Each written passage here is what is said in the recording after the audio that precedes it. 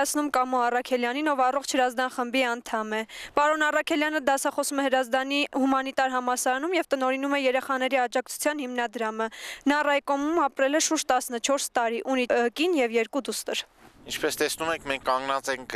Ռազդանի երկաթահանքի վրա, մեր ոդքերի տակ երկաթահանքն է ձգվում, որը բավականին մեծ պաշարներ ունի, սակայն դրա շահագործումը իրենից ենթադրում է բավականին լուրջ եւ մեծ աղետ Ռազդանի ազգաբնակչության եւ ոչ միայն Ռազդանի ազգաբնակչության, այլև շրջակա տարածաշրջանի բոլոր բնակավայրերի համար։ Խնդիրն այն է, որ երկաթահանքը շահագործելու դեպքում անկախ նրանից դա բաց կշահագործվի թե փակ կշահագործվի, բոլոր դեպքերում այն թողնում է իր աղետալի հետևանքները։ Առաջի հերթին պետք է ասեմ, որ այս սարի վրա, որը որտեղ երկաթահանքն է, սարին դերքում խմելու մաքուր ջրի պաշարներն են, որով որը օգտագործում է Ռազդանի տարածաշրջանի ազգաբնակչության եւ մինչեւ Երևան քաղաքի մի մասն նկատ։ Դա ամենամեծ աղետն է, որը հանքի շահագործելու դեպքում արկա է։ Հաջորդը ամենամեծ վտանգը կայանում է նրանում, որ երկաթահանքի շահագործման դեպքում փոշին բազմաթիվ վնասակար մետաղներ, ռադիոակտիվ տարրեր, որոնք ուղեկից են երկաթաքարի հետ, դրանք դուրս են գալու մտնոլորտ եւ ախտոտելու են շրջակա օդը։ Խնդիրն այն է, որ երկաթա երկաթի հանքավայրը գտնում է հենց քաղաքի սրտում եւ շուրջ բոլորը մանկապարտեզներ, դպրոցներ եւ բնակելի տներ են եւ միջազգային պրակտիկայում չկա մի նման դեպք, որ բնակավայրերին մոտ երկաթահանք շահագործվի։ Նույնիսկ խորթային տարիներին արգելվել է այս երկաթահանքի օգտագործումը։ Պետք է նշեմ, որ Վրաստանի հասարակական կազմակերպությունները, մենք բոլորս երիտասարդությունը կանգնած ենք երկաթահանքի շահագործման դեմ պայքարելու, որտեղ այն առաջի հերթին վնասելու է մեր առողջությունը։ Այդ ախտոտված ջրի, օդի եւ իհարկե հողի պարագայում առողջությանը մարդկանց առողջությանը լուրջ սպառնալիքներ են ուրեմն լինելու, առաջանալու են քաղցկեղածին եւ այլ տարբեր հիվանդություններ։ Ոստի հասարակական ուրեմն խումբը, առողջ հրազդան խումբը ուրեմն պատրաստ է ցանկացած պահին, եթե ուրեմն կհնչի երկաթահանքի շահագործման ուրեմն մեկնարկը մենք պատրաստ ենք պայքարելու մեր առողջ ապրելակերպի Հայաստանի Հանրապետության համանդրությամբ մեզ տրված առողջ շրջակա միջավայրում ապրելու իրավունքի համար ուրեմն մեր պայքարը։ Շնորհակալություն։ Պարոն Արաքելյանի ձեռքում է այն նամակ թերթիկը, որի տակ պետք է հավաքվեն ստորագրություններ բոլոր քաղաքացիներից։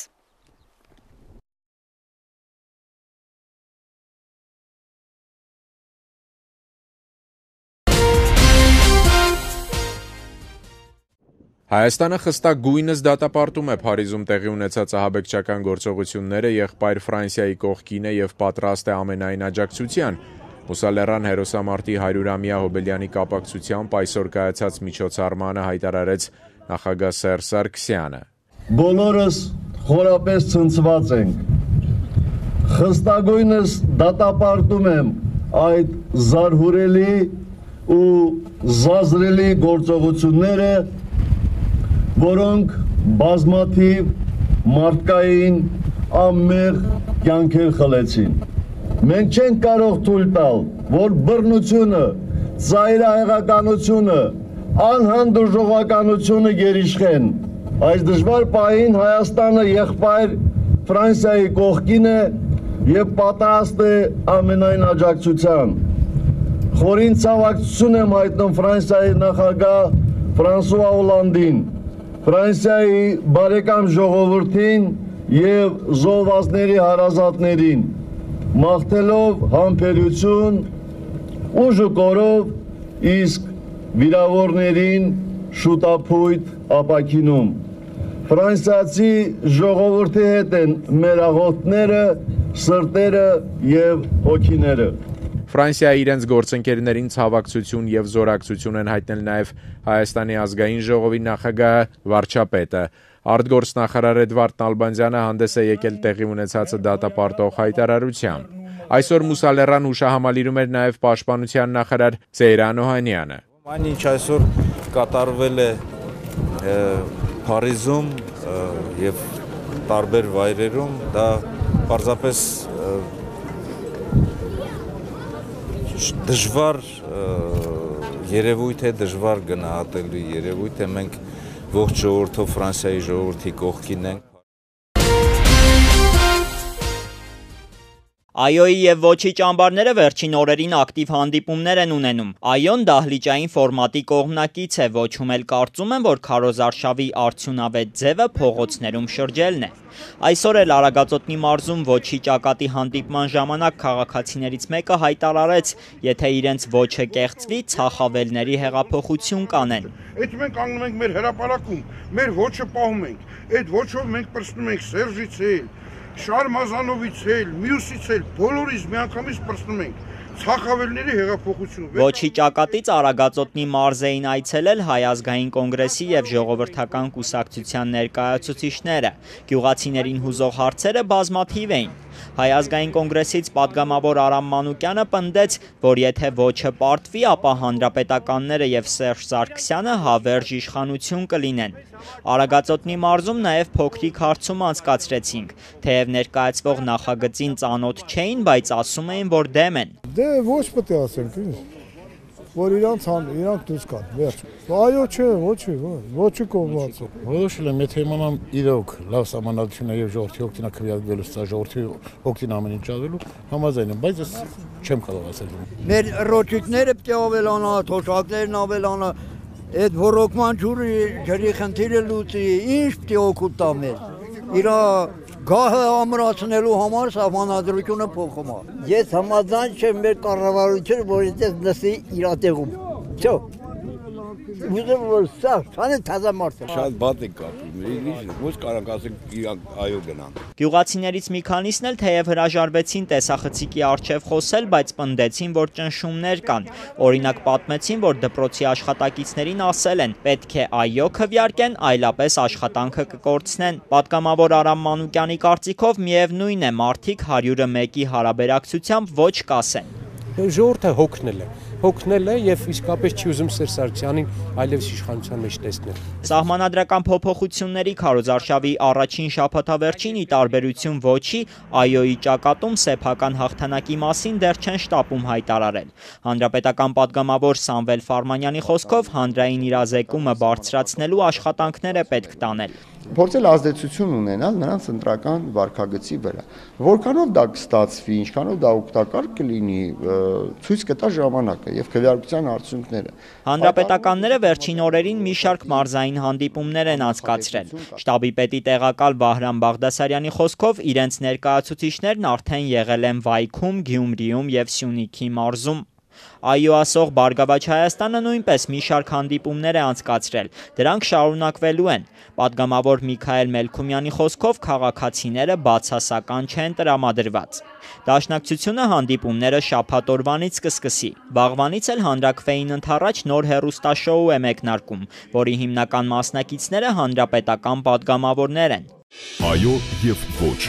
Ուղիղ եթերում հերարցակվելիք հաղորդման մասնակիցները շրջելու են մարզերով, ներկայացնելով սահմանադրական փոփոխություններին կողմ եւ դեմ տեսակետներ։ Մինչդեռ ոչի ճամբարի հիմնական ուժերը այս ռեալիթի շոուին հրաժարվել են մասնակցել, քանի որ այն իշխանական պրոյեկտ են համարում։ Ես ուղիղ շփվելու հնարավորություն ունեմ բոլոր ազատ մարդկանց են։ Ինչ կարիք ունեմ ես շոուների մասնակցելու։ Թող իրանք շոումեն են, իրանք շոուի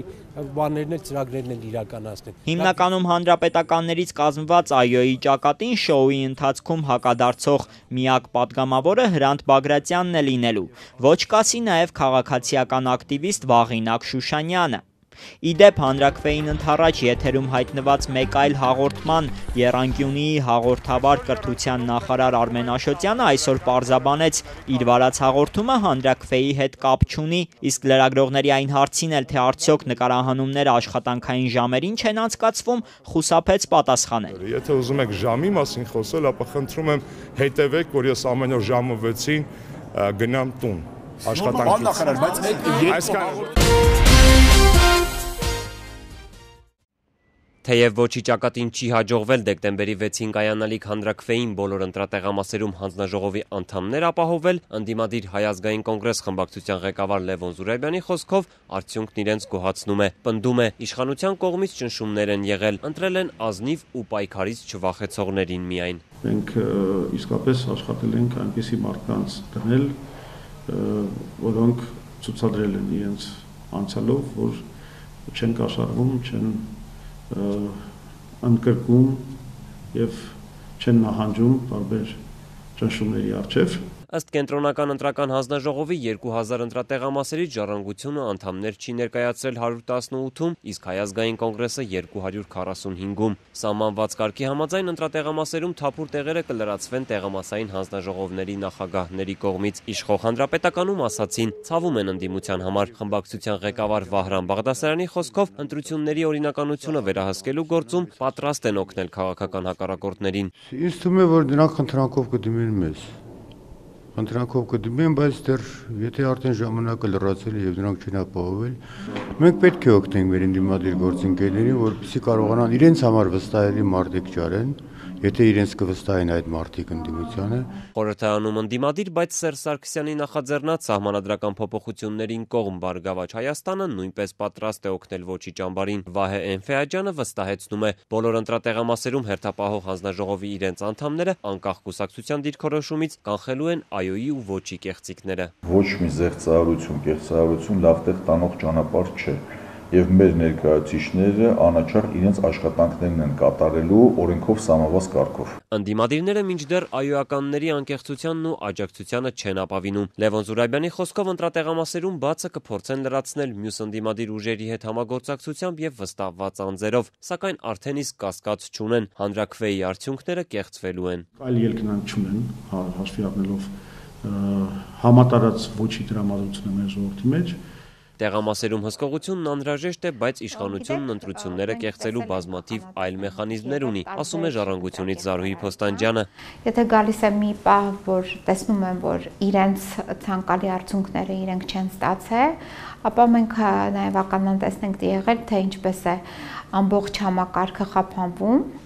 էլեկտրոնային համակարգի մասին է խոսքը եւ այդ խափանումից հետո մեկ է տեսնում ես, որ այնպիսի տվյալներ են հրապարակում, որը արդեն այս կեղծարարների համար հարիր է։ Ազգային ժողովում սահմանադրական փոփոխություններին ոչ ասող կուսակցություններից միայն օրինաց երկրին է հաջողվել բոլոր 2000 ընտրատեղամասերում ներկայացուցիչներ ապահովվել։ Խմբակցության ղեկավար Հեղինե Բիշարյանը չի շտապում արդեն իսկ հանրապետականներին մեղադրել ընտրությունների կեղծման մեջ, սակայն նշում է, նույնականացման քարտերով ընտրություններին մասնակցելու օրինագիծը հանրակրվեն կեղծելու հնարավորություն տվել է իշխանությանը։ Լրջագույն մտահոգություն կա իսկապես, որ հնարավոր է, որ դրա միջոցով հեշտությամբ տեղի ունենան կեղծիքներ։ Վահրամ Բաղդասարյանը միջդեռ վստահ է, ընդդիմությունը կեղծիքներից խոսում է անզորությունից։ Նա վստահեցնում է, հանրապետականները երբևէ ընտրություն չեն կեղծել եւ դեկտեմբերի 6-ին էլ նման մտադրություն չունեն։ Եվս մեկ անգամ ապացուցում է մեր ասածները, որ մարդիկ չունեն մարդկային ռեսուրս եւ իմիտացիա են ստեղծում պարզապես ցանկանալով ամեն գնով ցեղ շպրտել հանրակրվեի արդյունքների վրա։ Եթե 2000 մարդ չնա ապահովում, նրանք ինչքան ձայն պետք է ապահովեն։ Ես այդ տրամաբանությունը չեմ հասկանում։ Ընդամենը երկու շաբաթվա ընթացքում Հայաստանի կառավարությունը գրեթե 600 միլիոն դոլար պարտք վերցրեց։ Գործադիրն այսօր հավանություն տվեց Ասիական զարգացման բանկի ու Եվրասիական զարգացման բանկի հետ համաձայնագրերի կնքմանը, որով Հայաստանը 128.5 միլիոն դոլար վարկ կստանա։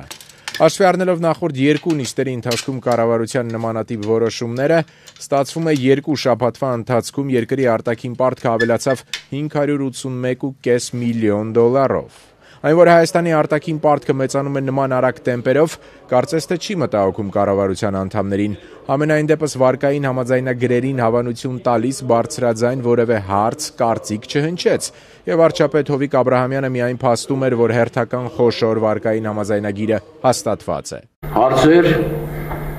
դեմ կարծիքներ, թե չկա հաստատում եք Կառավարության նիստերին վարկային այս համաձայնագրերը ներկայացնում էր ֆինանսների նախարար Գագիկ Խաչատրյանը, սակայն կառավարության շենքում նրան հարցեր ուղղելը գրեթե անհնար է։ Ոստի թե ինչ են մտածում կառավարությունում երկրի արտաքին պարտքի նման սրընթաց մեծացման մասին, փորձում ենք հասկանալ գործադիրի ֆինանսատնտեսական հատվածի այլ նախարարներից։ Արտաքին պարտքի ընդհանրապես ծավալները հաշվարկված են, կարծում եմ ֆինանսների նախարարությունը դա հաշվարկում է եւ այդ բեռը ընդհանուր տնտեսագիտական իմաստով մեծ է թե փոքր, ավելի շատ կախված է տնտեսության արդյունավետությունից։ Մենք Հունաստանի ճանապարհով չենք գնում, փախտ ենք վերցնում, բայց չէ, չէ։ Փաստաթղթերի համաձայն 88.5 միլիոն դոլար հատկացվելու է դպրոցների շենքերի սեյսմակայունության բարձրացմանը, իսկ 40 միլիոն դոլար ռոռոկման համակարգերի արդիականացմանը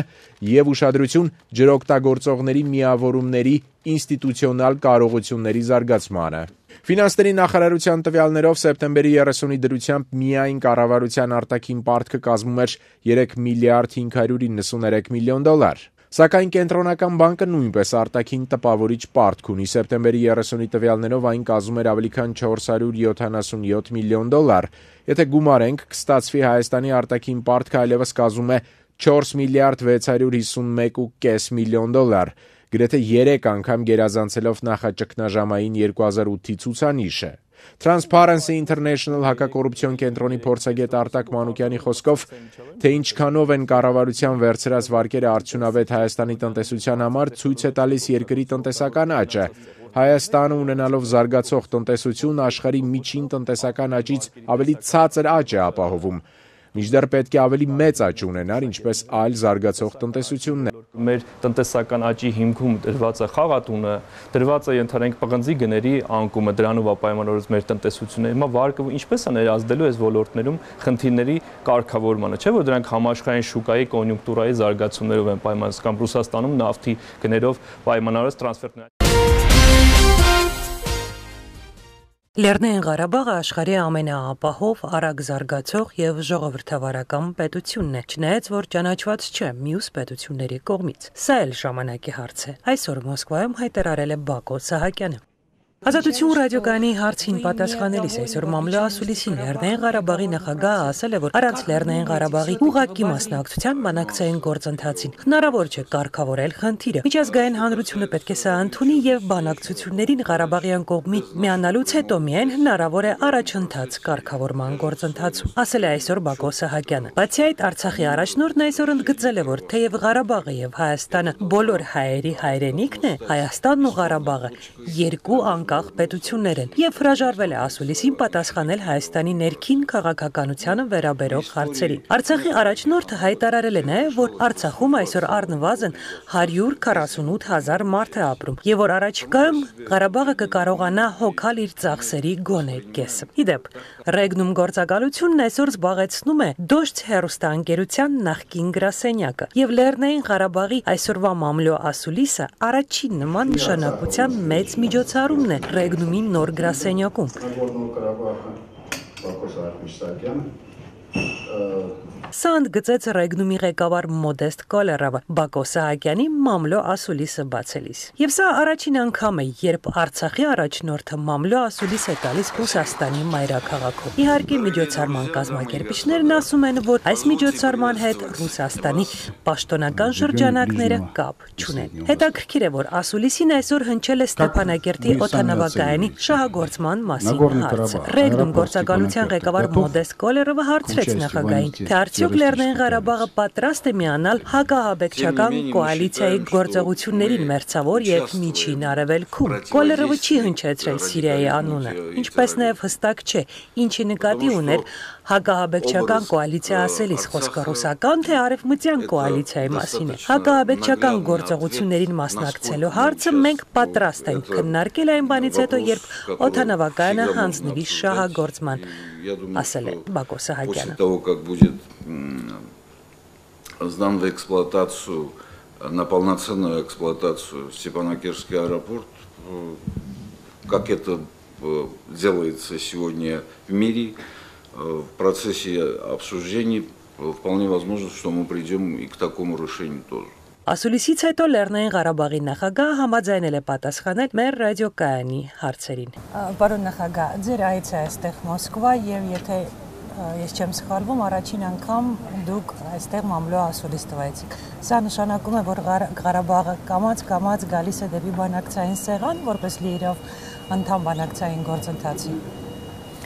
Եթե այս այցելությունը կնպաստի, որպեսզի մենք վերականգնենք բանակցային գործընթացում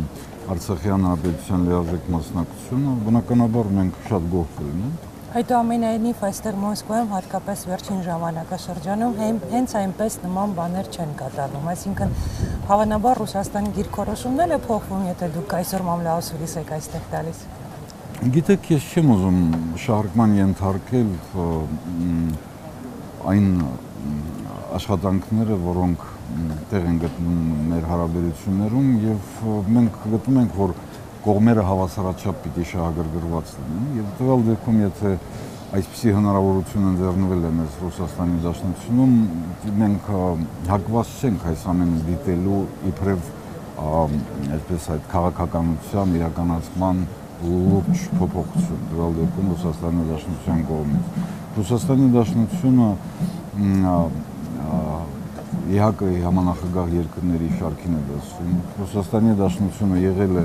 սկզբնական շրջանում, երբ դեռ ԵՀԿ-ն ձևավորված էր, միջնորդ երկիրը այդ հարաբերական խաղաղությունը հաստատելու գործում, հետեւաբար մենք միայն կարող ենք ողջունել նման հնարավորությունը եւ ակնկալել, որ այս եւ նման աշխատանքները կնպաստեն այս ծանրագույն նախընտրի վերջնական կարգավորմանը։ Եվ կշարունակվեն։ Եվ կշարունակվեն, այո։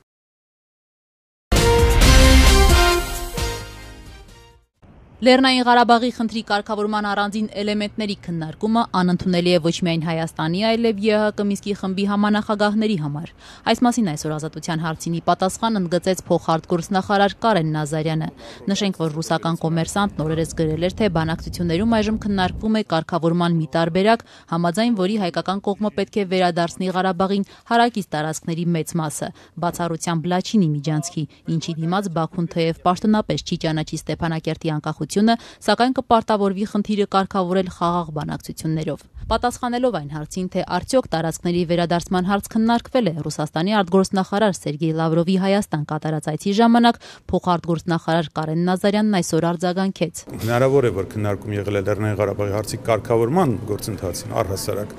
բայց չեմ կարծում որ նման հարցին անդրադարձներ։ Գիտեք, այդ հարցերը բազմիցս դրանց անդրադարձ եղել է այդ հարցերին ամենատարբեր առիթներով խոսվել է, որ առհասարակ գոյություն ունի Մինսկի խմբի համանախագահների կողմից արված առաջարկներ, խոսքը վերաբերվում է համապարփակ կարգավորմանը եւ այստեղ առանձնացնել ինչ որ էլեմենտների մասին առանձին խոսել քննարկել դա անընդունել է ոչ միայն մեզ համար, նաև համանախագահ։ Ես ճիշտ եմ հասկանում։ Նշենք, որ կոմերսանտից բացի թեմային անդրադարձել էր նաև Երևանյան մամուլը, հղումանելով իր աղբյուրներին հայկական ժամանակը գրել էր, որ ըստ իշխանական շրջանակներից ստացված տեղեկությունների Ռուսաստանը փորձում է Հայաստանին համոզել Ադրբեջանին հանձնել մի քանի շրջան, հույս ունենալով, որ այդ կերպ կկարողանա ստանալ Ադրբեջանի համաձայնությունը Եվրասիական տնտեսական միությանն անդամակցելու հարցում։ Լեռնային Ղարաբաղում մինչդեռ բացառում են, թե Ռուսաստանը նման քայլի կգնա։ Ղարաբաղի նախագահի Հայ աշխատակազմի ղեկավարի տեղակալ Դավիթ Բաբայանն այս պնդումները շահարկում է որակում։ Մենք խոսում ենք, որ Լավրովը իբրև այդպիսի հարցեր է դրել, բայց ինքը Լավրովը քննադատել է ԵԽԽՎ-ի այդ տխրահրճակ խավիարաթաթախ զեկույցը, որտեղ նույն գաղափարներն է առաջարկում։ Ինչի պետք է այդ դեպքում ինքը քննադատի այդ զեկույցը եւ միևնույն ժամանակ առաջարկի այն դրույթները, որը զետեղված այդ զեկույցում։ Չի ասենք տրամաբանական չէ։ Դավիթ Բաբայանը նշեց, որ եթե անգամ տեսականորեն ենթադրենք, որ Ադրբեջանը ստանում է այդ տարածքները, ապա բոլորն էլ հասկանում են, վերջինս կանգ չի առնելու եւ կուլետալու ոչ միայն Արցախը, այլև ողջ Հայաստանը այս իրավիճակը, որը կա, այս հավասարակշռվածությունը, սա կայունության եւ խաղաղության գլխավոր երաշխիքներից մեկն է։ Եվ եթե ինչ որ բան այստեղ փոխվում է, ապա այնպիսի անկանխատեսելի զարգացումներ կարող են տեղի ունենալ։ Հարավային Կովկասը ավելի վատ եւ այսպես դաժան թատերաբեմ կդառնա պատերազմի, քան Սիրիան, Իրաքը միասին վերցած։ Իսկ սա Ռուսաստանի նույն Ռուսաստանին ձեռնտու չէ, որովհետեւ նա ունի հյուսիսային Կովկաս, որտեղ նույնպես կայունությունը շատ փխրում է եւ այլն, նմանավանդ Ուկրաինայի այդ բախումը արևմուտք Ռուսաստան չեմ կարծում որ այդպեսի բան լինի։ Սա ուղղակի Ռուսաստանը չի գնա նման քայլի։ Երբեք, երբեք չի գնա։ Հայ հեղափոխական դաշնակցության ղեկավար անդամ ՀՅԴ խմբակցության քարտուղար Աղվան Վարդանյանը նույնպես բացառում է, թե Ռուսաստանի կողմից կարող է լինել նման բացահայտ եւ միակողմանի ճնշում, իսկ եթե Հայաստանի որևէ իշխանություն գնա նման քայլի, ապա այլևս իշխանություն չի լինի։ Կա Հայաստանի հստակ դիրքորոշումը, որ այդ կարգի զիջումները միակողմանի բացառված են, ինչը նշանակում ռազմական ուժ չկիրառելու դիմաց ընդհանրապես միջազգային իրավակարգավորումները ենթադրում են ուժի կիրառման եւ ուժի կիրառման սպառնալիքի բացառում նման հարաբերություններում։ Այնպես որ ես շատ ավելի հանգիստ եմ նայում այս խնդիրներին։ Չեմ կարծում, որ որևէ լուրջ պարտադրանք հնարավոր է Հայաստանի արչև դնել այս առումով խնդիրն է։ Կարող է շահերը հաշվի առնելով կանգնեցնել։ Ռուսաստանը միշտ իր շահերն է հաշվի առնելու, բայց Հայաստանը իր շահերը։ Վստահ եմ, որ նախ չի լինի նման բացահայտ եւ միակողմանի պարտադրանք ճնշում, բայց Հայաստանն էլ պարտավոր է իր շահերը պաշտպանել ունենք մենք այդ հնարավորությունը հակառակ Մենք միշտ ունենք, մենք միշտ ունենք այդ հնարավորությունը մեր ազգային պետական շահերը պաշտպանելու։ Եթե մենք այդ ներուժը չկարողանանք մոբիլիզացնել եւ կիրառել, ապա ուրեմն գոյությունից գոյության իրավունք չունենք։ Այսինքն դուք բացառում եք, որ Հայաստանը ինչ որ միջանկյալ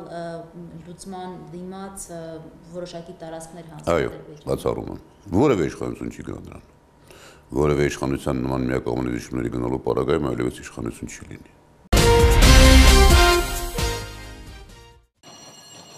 Օրերս մարդու իրավունքների Եվրոպական դատարանը հերթական վճիրն է հրապարակել ընդդեմ Հայաստանի, որի համաձայն խախտվել է քաղաքացի Հայկ Սահակյանի ազատության իրավունքը եւ նրան չի տրվել ոչ նյութական վնասի փոխհատուցում։ Սահակյանն անազատության մեջ է գտնվել ավելի քան 40 օր, պատմում է Եվրոպական դատարանում երիտասարդի ներկայացուցիչ փաստաբան Յուրիկ Խաչատրյանը։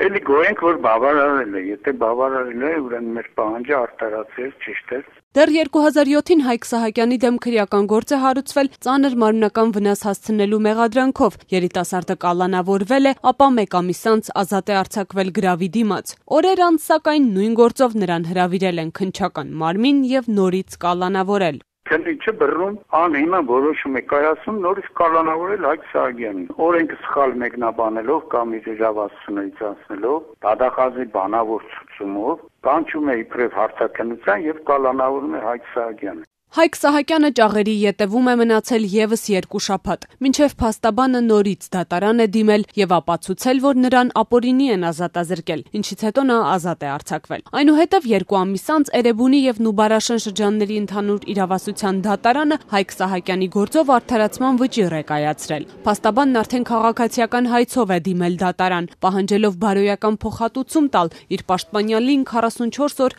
անազատության մեջ պահելու համար։ Հայաստանյան դատարան դատարանների կողմից մերժում ստանալուց հետո Հայկ Սահակյանը դիմել է Եվրոպական դատարան, որի որոշմամբ առաջիկայում պետությունից կստանա 3000 եվրո փոխհատուցում։ Եվրոդատարանը գումարը ճիշտ է քիչ է կայացել մոտ 3000 քանիսի կարգի եվրոյի, սակայն նրանք հելնում են նաև այն հիմնավորմամբ, որ հաշվի են առնում պետության ֆինանսական միջոցները, այլ այլ հանգամանքներ։ Թեև ինչպես պահանջել էր փաստաբանը, Միեդը չի պարտավորեցրել Հայաստանին վճարել 5 անգամ ավելի մեծ գումար, այնուամենայնիվ Հայաստանի Հանրապետությունը հարկատուների գրպանից այս եւ տարբեր այլ գործերով ամեն տարի միլիոնավոր դրամներ է վճարում դատավորների թույլ տված սխալների պատճառով։ Այս տարի արդեն վճարվել է ավելի քան 230 հազար եվրո, իսկ 2007 թվականից ի վեր ավելի քան 800 հազար եվրո։ Եվրոպական դատարան բազմաթիվ հայցեր ներկայացրած փաստաբան Երվանդ Վարոսյանի խոսքով պետությունը տասնյակ գործերից դասեր չի քաղում։ Անկամ եթե կոնկրետ պաշտոնյաների չեն փորձում պատասխանատվության ենթարկել, գոնե պետությունը փորձել գլոբալ առումով խնդիրը լուծել հետագայի համար, հա, այսինքն սխալվել ենք մի անգամ կամ սխալ ենք թույլ տվել կամ դիտավորություն ենք արել, բայց հրաժարվենք այլևս նման գործելավոճից եւ սկսենք աշխատել օրենքով գոնե դա լիներ հետևանքը Եվրոպական դատարանի կողմից կայացվող որոշումների, բայց մենք դա էլ չենք տեսնում։ Հայաստանի դեմ միեդում բազմաթիվ գործեր կան օրինակ քաղաքացիների ազատության իրավունքի խախտման վերաբերյալ, բայց միևնույնն է, ասում է Վարոսյանը, ինչպես 10 տարի առաջ, այդպես էլ այսօր Հայաստանի կալանավայրերը գերծանրաբեռնված են նույն հիմնավորումներն են գրեթե նույն առանց որևէ հիմքերի, առանց որևէ պատճառաբանությամբ անձանց նկատմամբ անազատության հետ կապված խափան միջոցներ են ընտրվում ցավոք սրտի։ Այսինքն մենք դասեր դրանից, մենք բոլորս, հա, որպես պետություն չենք քաղում։ Մենք օրենսդրական խնդիր գրեթե չունենք։ Մեր օրենքները եվրոպական չափանիշներից երբեմն նույնիսկ մի քայլ առաջ են։ Մենք ունենք օրենքի ճիշտ կիրառության խնդիր ընդհանրապես։